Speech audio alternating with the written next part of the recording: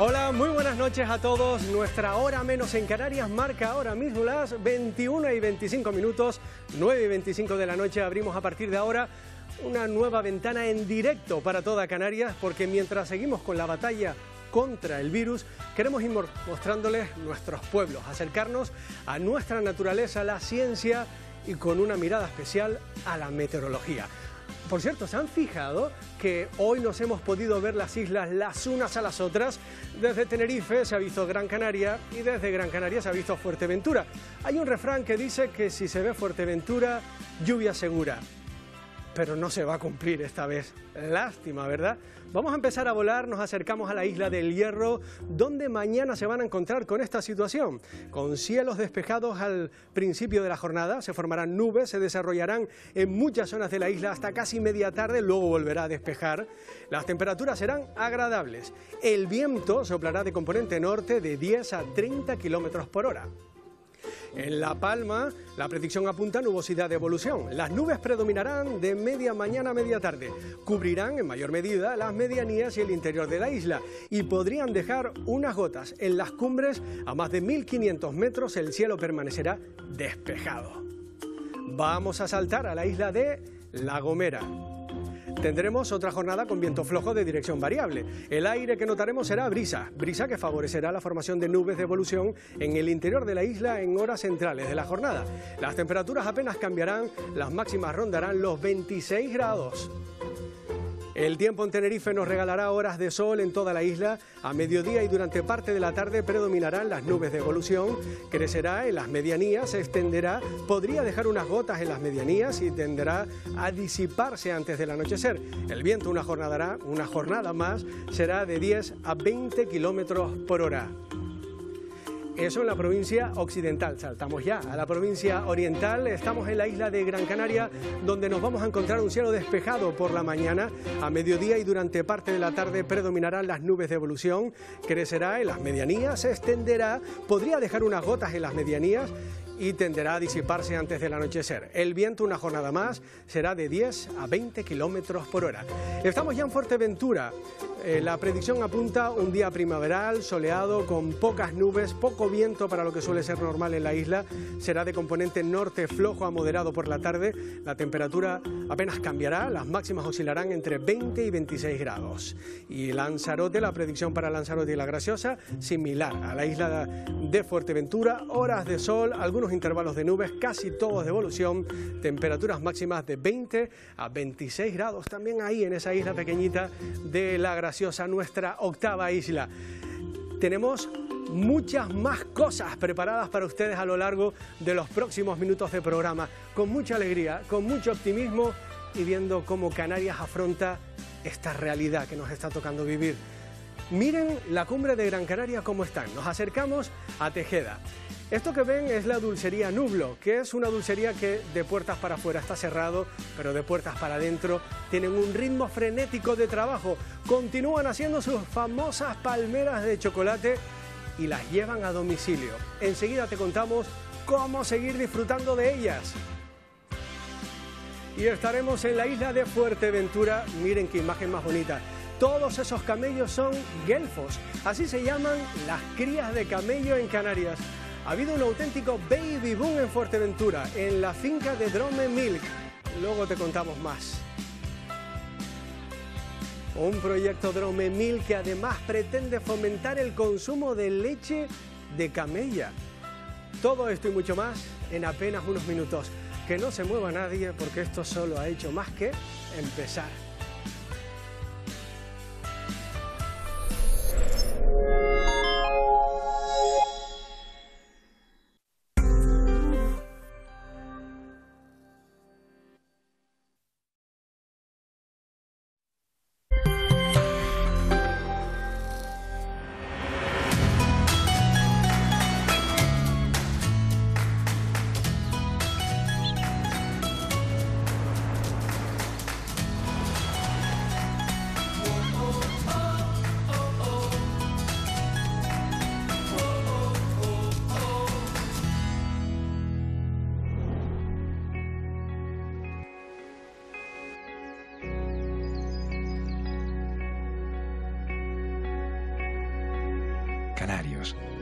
Dejen a un lado por una hora los malos pensamientos.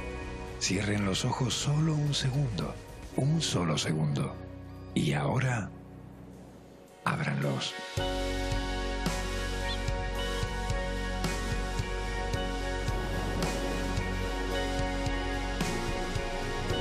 Todo lo que acaban de ver es nuestro. Y no se preocupen, porque allí fuera nos sigue esperando este paraíso. Créanme, en poco tiempo saldremos de nuestras casas y volveremos a llenar el hogar de todos los canarios. Ya queda una hora menos.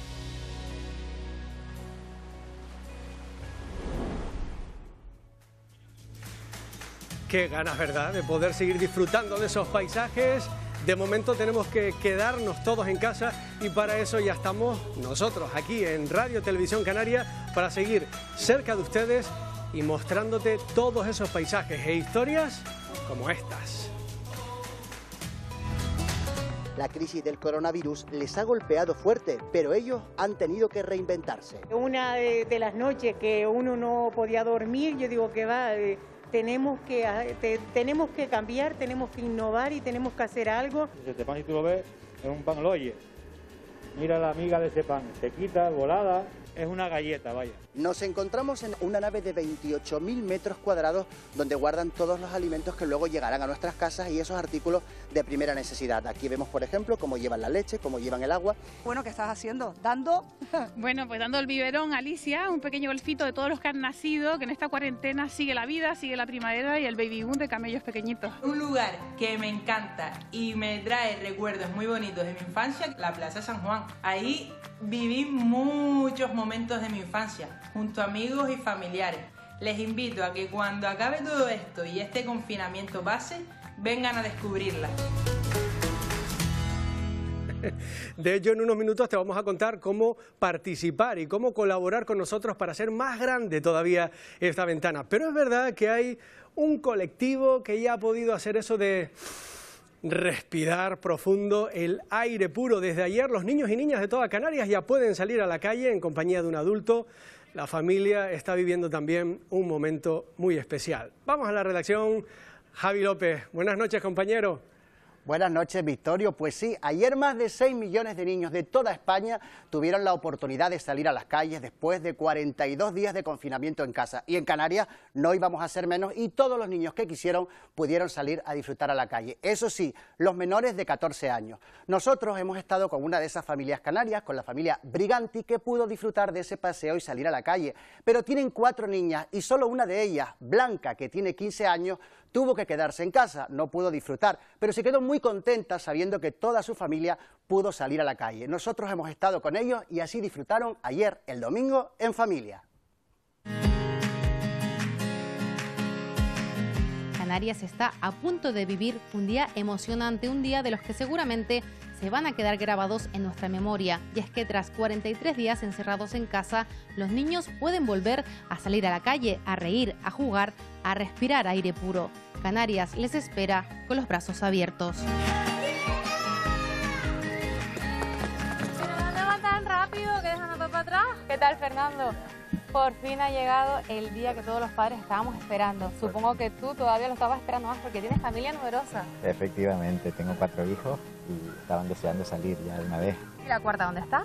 La cuarta tiene 14, 15, 15 años, tiene la ¿Puede ser hermana. aquella chica que estaba la Aquella, aquella que está allá, aquella que está allá y no puede salir, pero bueno.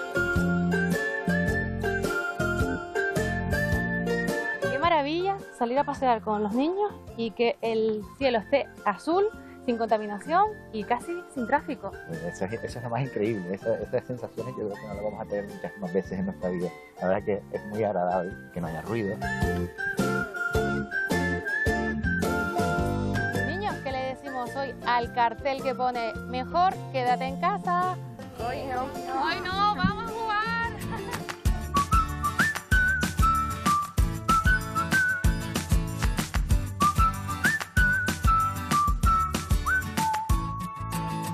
Fernando, viendo jugar a tus hijos al aire libre, eres el padre más feliz del mundo ahora mismo. Efectivamente, estoy muy contento, puesto que los niños demandaban salir y ya por fin están jugando. La educación esto es importantísimo y tanto tiempo les afecta. Niños, Venga, que nos vamos, que se nos acaba el tiempo. Hay que cumplir las normas, ¿verdad que sí? Efectivamente. Tenemos una hora para salir a la calle. No nos podemos alejar más de un kilómetro. Y siempre los niños tienen que salir con un adulto.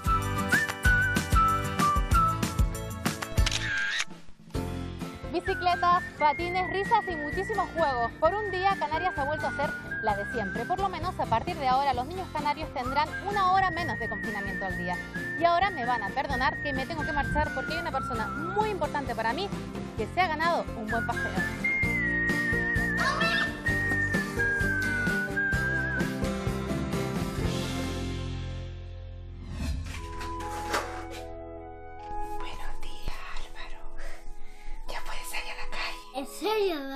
¿Sí? Mami, la calle estará como antes. Claro, Álvaro. Lo que pasa es que habrá menos gente y tendremos que ir con más cuidado. Mami, la, la poli no se enfada en salir de la calle. No, ya no dejan salir. Podemos ir al parque. No, Álvaro, al parque no podemos ir. Solo podemos dar paseos con la bicicleta o caminar, pero cerquita de casa. Vamos para la calle, vamos para la calle.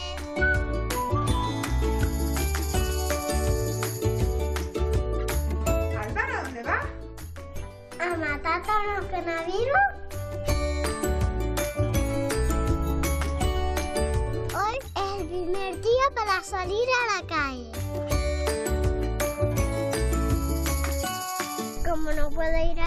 Con mis amigos, aquí me lo paso muy bien con la bici.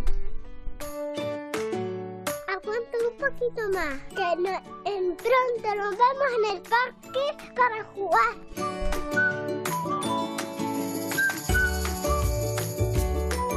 Un saludo muy grande para todos mis amiguitos de una hora menos. Hola, soy Maggie Romero. Llevo 45 días en casa. Y el Estado dice que se puede salir a la calle. ¿En serio? ¿En serio? ¿Que sí? ¿Qué van a hacer? Disfrutar y estar con nuestros amigos desde lejos. ¡Libertad!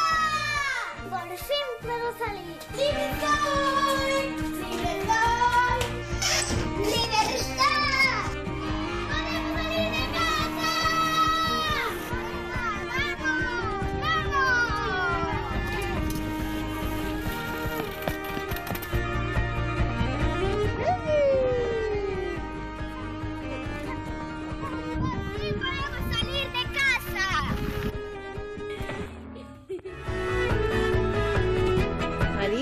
¿Te gustó salir a la calle? Sí, muchísimo. Espero que disfrutéis de vuestro paseo. ¡Adiós! ¡Adiós! ¡Adiós! ¡Y adiós, Bueno, si es que seis semanas de confinamiento nos han cambiado a todos, pero también ha cambiado la forma de vida en los comercios de toda Canarias, que se han tenido que reinventar. Es el caso de la dulcería Nublo. Les invitamos a subir a la cumbre de la isla de Gran Canaria, hasta ahí, hasta esa dulcería. Tiene sus famosas palmeras. eh, tiene las puertas de la calle cerradas, pero dentro hay un ritmo frenético de trabajo porque llevan sus dulces a su casa, hacen reparto a domicilio y no paran, no paran de trabajar. ¿Quién le iba a decir a Rosa Mari que con los 75 años de esa dulcería se iba a encontrar en esta situación? El año que viene, la Dulcería Nublo, una de las más conocidas de Gran Canaria, cumplirá 75 años de historia. La crisis del coronavirus les ha golpeado fuerte, pero ellos han tenido que reinventarse.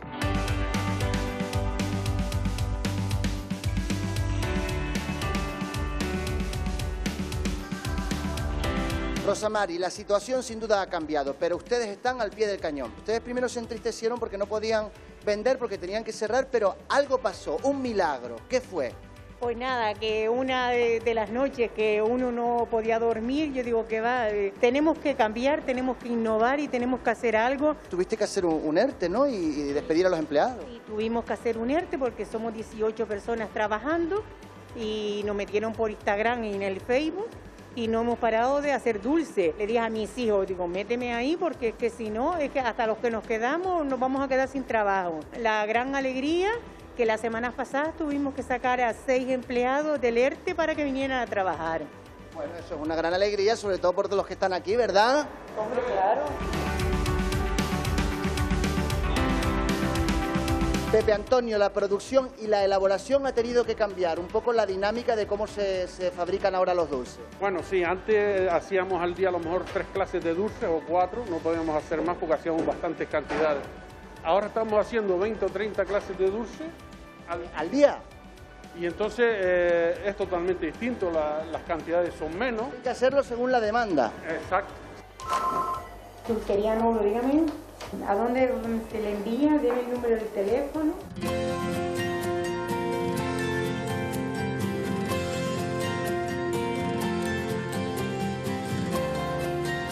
Y en la dulcería no paran de preparar pedidos. Sirenia, estás haciendo uno ahora mismo para Las Palmas, para Escaleritas, o sea, un poco lejos, que no es solo la gente de la zona. No, es para toda Gran Canaria.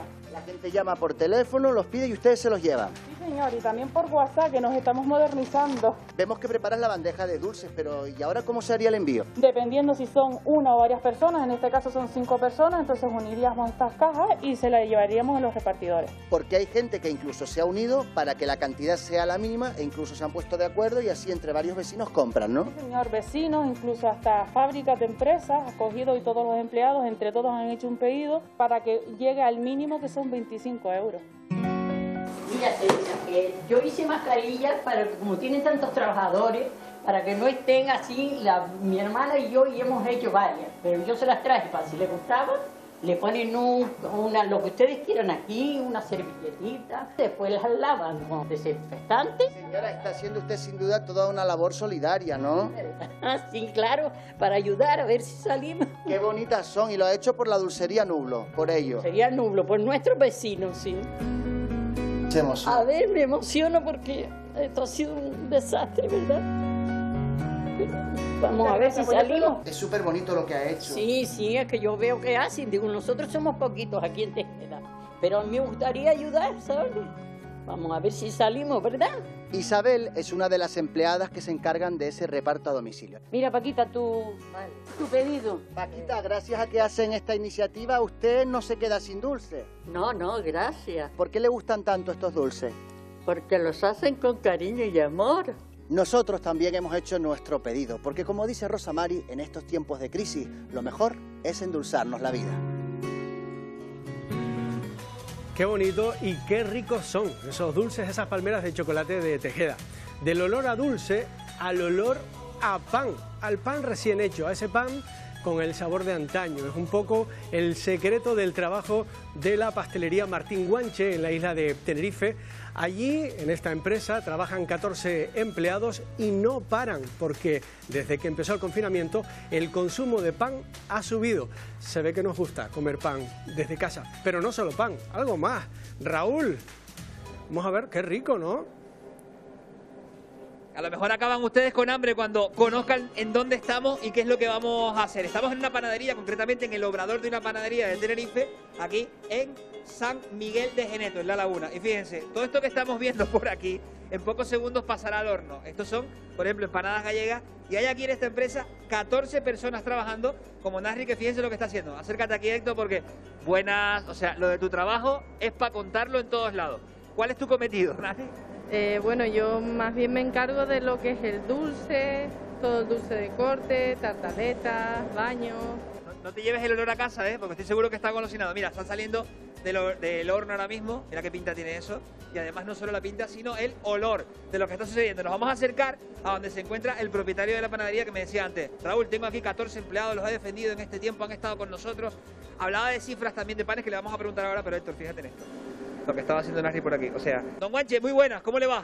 Bien. Es usted el propietario de, de la panadería, ¿no? Sí, señor. Decía usted que tenía 14 trabajadores y que los ha mantenido ahí porque al final usted se preocupa mucho por, por, por ellos mismos y por las familias que hay detrás de ellos, ¿no? Claro, aquí son muchas cosas. La familia, somos, somos una familia aquí trabajando. ¿Cuántos panes al día más o menos se pueden, se pueden estar haciendo? Estamos haciendo ahora una media de 6, 7 mil panes. Diario. Estos panes también se embarcan a otras islas. O sea, en, en la empresa Freolsen también muchos de los panes que salen de aquí son utilizados para ellos, para, para su servicio, ¿no? También es un cliente nuestro que gasta nuestros panes y lo, lo que es nuestra to- toda dulcería también. Tengo una máquina, Raúl, que vale 25.000 euros. Digo, ¿y eso para qué la tiene usted? ¿Para qué se gastó estos 25.000 euros? Para hacer un fermento natural. Consiguen ustedes que no haya, no haya tanta levadura, como decía usted, en el pan, ¿no? No, trabajamos con muy poca levadura, casi nada. ¿Esto qué hace luego? Que el pan cuando uno lo pueda comer no le dé tan- menos acidez. Tienen menos acidez, tienen más sabor. Vamos a verlo por aquí. Dese la vuelta, Guanche, para que se le vea en casa. Este pan, si tú lo ves, es un pan, además, tenemos que comernos el pan siempre que es doradito. El pan blanco es muy malo. Este pan, si tú lo ves, es un pan loye. Mira la miga de ese pan, se quita, volada, es una galleta, vaya. Este pan, digo, tiene la pinta de que este pan dura para el día siguiente, que es los panes de antes que se decía. Para el siguiente dos días en tu casa te puedes comer este pan, fácilmente. No solo una cosa, vamos a echar un vistazo por aquí, vamos a seguir moviéndonos gracias Guanche. Desde el obrador salimos por esta puerta y tenemos contacto con la gente, pues con los que suelen venir a comprar el producto y miren lo, lo que tienen. Hola chicas, muy buenas. ¿Cómo le va Mónica? Buenos días. Quiero dos cosas, que me diga cuál es el pan que más vende y cuál es el producto estrella que lo estoy viendo por aquí. Me lo tienes que decir tú. Bueno, el pan que más se vende son las barritas. Es un pan bastante crujiente y que te aguanta bien durante todo el día. Qué bien lo vendes, ¿eh? Qué bien lo vendes. ¿Cuál es la frase? Porque fíjense, Mónica tiene una frase cuando la gente viene por aquí que es la que tienes tu guiño de venta. ¿Cuál es la frase que dice? ¿Quieren llevarse una barrita que están calentitas? Si de dulces hablamos, Canarias es tierra de... Pachangas, por supuesto. Déjame. Tierra de pachanga. Bueno, ojo al tamaño de las pachangas que hay aquí, eh, porque son, son consistentes. Esto, Esto es una pachangota, no una pachanga. esto es un, un baile entero, no es, una, no es una pachanga, es un baile entero, ¿no? Espectacularmente buenas. Vienen rellenas de crema, de crema pastelera y son buenísimas. Aquí se vende muchísimo. De hecho, no nos, no nos sobra de un día para otro y cada día tenemos que hacer más cantidad porque es más demandada. Me quedo con esto, Canarias es tierra de barras y tierra de pachanga. Hombre, claro que sí. La frase tuya para vender era, que me encanta. Que las barras siempre están calentitas y es un pan crujientito que te aguanta durante todo el día. Pues ponme dos, gracias Mónica, ¿eh? Es una panadería, además, teniendo contacto con nuestra gente y conociendo productos que se hacen aquí, que nada es congelado, que según se está gestando, como lo pudieron ustedes comprobar, termina aquí y se lo está llevando, pues miren, gente como esta.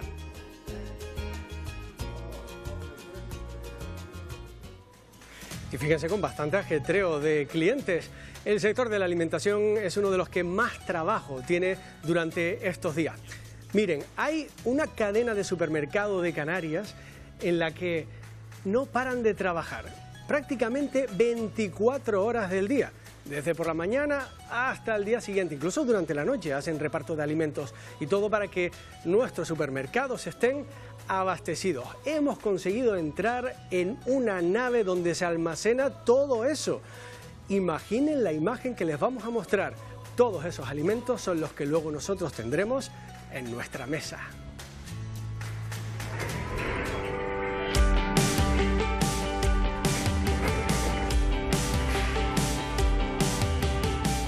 Nos encontramos en el grupo logístico Spar Gran Canaria, una nave de 28.000 metros cuadrados donde guardan todos los alimentos que luego llegarán a nuestras casas y esos artículos de primera necesidad. Aquí vemos, por ejemplo, cómo llevan la leche, cómo llevan el agua y vamos a preguntarle a Alejandro, uno de los trabajadores, cómo ha cambiado esta situación del coronavirus el hecho de que tengan que trabajar pues algo más de lo habitual. ¿Verdad, Alejandro? Sí, cierto, hay muchísimo más volumen de trabajo. eh, incluso hemos tenido que venir unos cuantos compañeros eh, con un turno de noche especial para meter contenedores en la nave y demás. El volumen de trabajo es brutal. Y, pero bueno, eh, tenemos un buen grupo de trabajo, hay buenos, buenos chicos trabajando y lo estamos lle- sobrellevando bien. Alejandro, todo lo que está en las estanterías es el, el material, los artículos que van a ir a los supermercados, pero esto que tenemos aquí son ya pedidos preparados para esos establecimientos, ¿no? Sí, ya esto ya están preparados para que vengan los choferes y lo carguen para llevarlos a, la- a los diferentes puntos de venta. Aquí vemos, Alejandro, cómo llega tu compañero con la máquina que ahora mismo va a dejar de usarla y la tiene que desinfectar para el siguiente compañero. Sí, una de las normas que hemos puesto es que cada vez que vaya a coger la máquina y cada vez que la vaya a dejar, tiene que desinfectarla para el siguiente compañero que la coja, pues la coja desinfectada. Vamos, que independientemente de la cantidad de trabajadores que hay aquí, todo está medido al detalle, en las máquinas, en los pales, en toda la mercancía. Sí, sí, tiene que ser así. Tenemos que cuidar todo eso, incluso cuando en recesión entran proveedores, eh, dispensadores para desinfectarse las manos. Es importante la, seguridad en ese aspecto. Acudimos a uno de los supermercados donde hay bastante afluencia de público desde que abren hasta que cierran y uno de los lugares donde más se suele acumular la gente es en la frutería, Silvia. Sí, se acumula mucha gente porque sobre todo ahora están buscando muchos productos de primera necesidad como las papas, las cebollas, cosas que almacenar en casa con la cosa de que no pueden salir mucho. Están buscando también muchas frutas, se está vendiendo mucho cítrico y es una de las ciudades donde más se está vendiendo. Y es uno de los lugares donde más se mantiene esa distancia porque, por ejemplo, aquí no pueden estar más de dos o tres personas. Ahora vemos una señora comprando, pero no pueden estar junta la gente. No, no pueden estar juntas, tenemos un aforo limitado y respetando las rayas del suelo, como mucho tres personas juntas en frutería para respetar la distancia. Y siempre se ha tenido que poner guantes aquí en frutería, pero ahora guantes es desde que se entra a la tienda. Efectivamente, ahora en vez de estar aquí siempre, están directamente en la entrada porque ahora es obligatorio para todos los clientes y para toda la tienda, no solo para la frutería.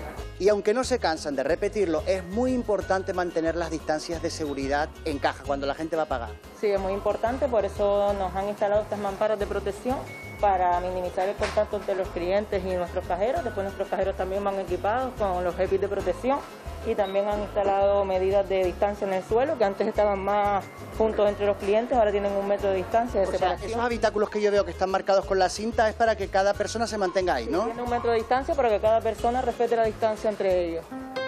Señora, usted viene siempre a comprar con los guantes y con la mascarilla. Siempre. ¿Qué productos son los que más se suele llevar? ¿Viene siempre a comprar lo mismo? ¿Un día compra una cosa, otro día compra otra?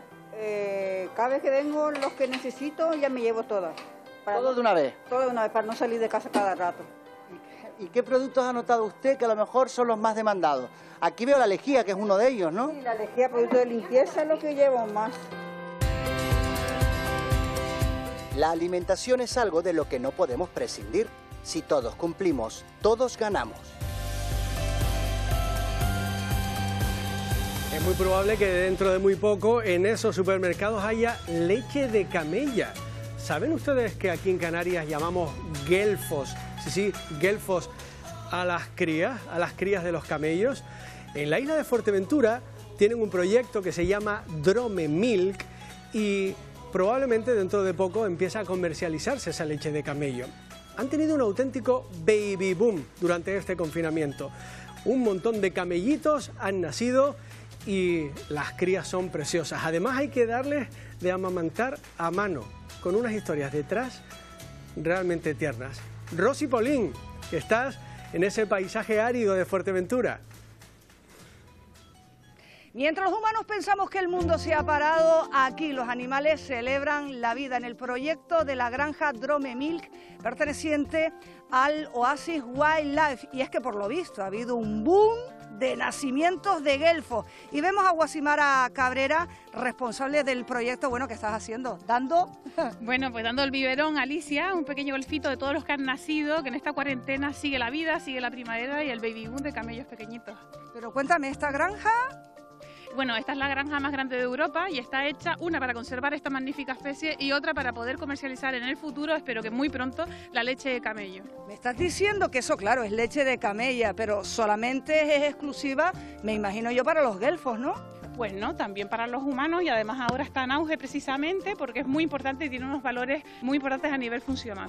Oye, ahí estamos viendo ahora mismo cómo eh, una hembra está siendo ordeñada. ¿Para qué? No paran de nacer gelfitos, algunos son rechazados por su mamá y tenemos que mantenerlos nosotros a mano, como haría cualquier madre. Y también ordeñamos para poder investigar porque estamos estudiando pues, sus valores nutricionales y funcionales. Oye, eso que estoy viendo, ¿y qué es? He traído unos productos que es lo que nosotros queremos hacer aquí en España y en Canarias en concreto, crear un producto denominación de origen con leche de camella. En este caso tengo pues productos lácteos como capuchino, café latte o leche para que puedas probar. Mira, voy a probar el capuchino y te digo qué tal está. ¿Te parece? A ver. Mm. Qué fresquito, ¿no? ¿Y esto?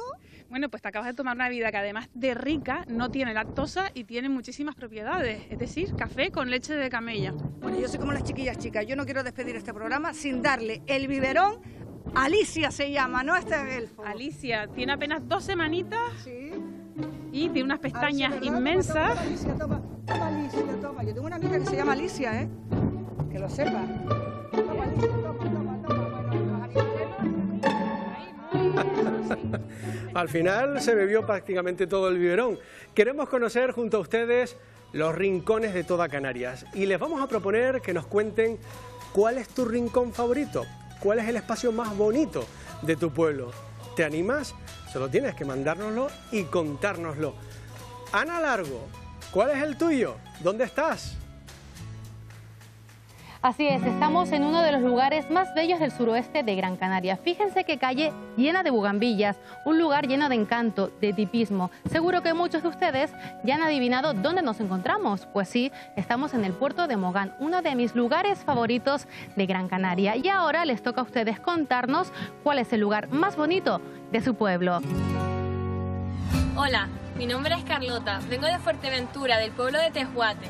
El lugar que más me gusta de mi pueblo es la plaza, porque todos los habitantes de Tejuate nos reunimos para celebrar nuestras fiestas, nuestros asaderos, celebraciones y nos lo pasamos en grande siempre juntos. Un saludo. Hola a todos, mi nombre es Cristina Artiles. Vivo en Telde, en el barrio de San Juan. De un lugar que me encanta y me trae recuerdos muy bonitos de mi infancia, quería hablarles, la Plaza San Juan. Ahí viví muchos momentos de mi infancia, junto a amigos y familiares. Les invito a que cuando acabe todo esto y este confinamiento pase, vengan a descubrirla. Es un lugar idílico para relajarnos. Un abrazo a todos y un saludo lleno de ánimo y de fuerza para todos los espectadores de una hora menos. Chao. Hola, mi nombre es Josué, soy de Breña y voy a contarles lo que más me gusta de mi pueblo, que es el Museo del Puro y las Cruces en el Parque de los Álamos. Aunque es un museo muy chiquitito, pero la verdad que explica muy bien las tradiciones de mi pueblo, tanto el Puro como las Cruces. Soy Carmen Torres y les hablo desde Alcalá, un pueblo precioso de Guiadisora, en Tenerife. Voy a decir de una casa que es como, es como un monumento en nuestro pueblo, porque es de principios de siglo, es una casa colonial preciosa, preciosa, preciosa. Muchos saludos para una hora menos en Canarias y todo su equipo. Gracias. Hola, me llamo Mariana, tengo 16 años y vivo en el Hierro, en Isora. Uno de los sitios que más me gusta de mi pueblo es el mirador de Isora, que aparte de que tiene unas vistas espectaculares, tiene varios senderos alrededor de ellos, que es por donde yo suelo pasar.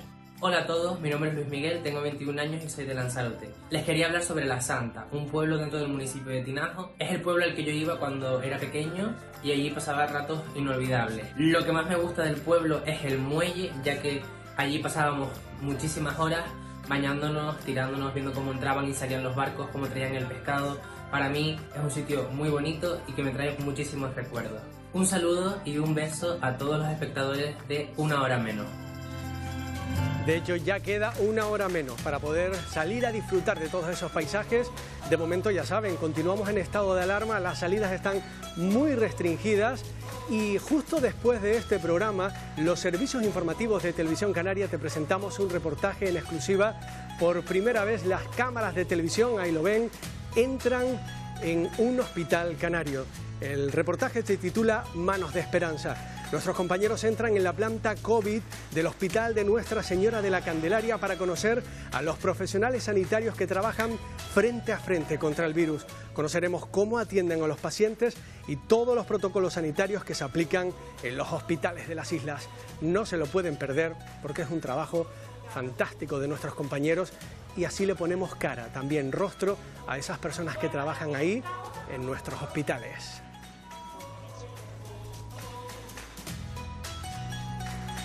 Lo dicho, este es un programa de tú a tú, en el que queremos estar muy cerquita de ustedes y queremos que nos cuenten sus historias. Cada día les vamos a proponer algún reto, alguna idea para que nos envíen fotografías, vídeos, porque Canarias está muy bonita.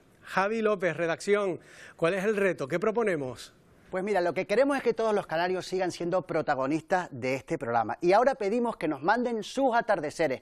Atardeceres desde sus balcones, desde sus terrazas, desde sus ventanas y desde cualquier isla. Desde La Palma a La Graciosa, Lanzarote, Fuerteventura. Ustedes se asoman a la ventana cuando está atardeciendo y se ve el sol así rojo y calentito. Hacen la fotografía, hacen el vídeo y nos lo envían. Siempre recuérdenlo en horizontal, lo graban y nos lo envían al siguiente número de teléfono, el 648-812-703. 648 812-703. Venga, venga, que estamos esperando ya todos sus vídeos.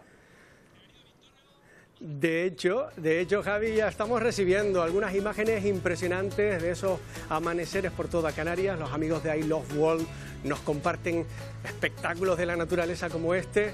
Eso es lo que nos espera cuando consigamos que ya falta poco ganar esta batalla contra el virus. Una hora menos en Canarias, pero una hora más para disfrutar de la vida. Hasta mañana.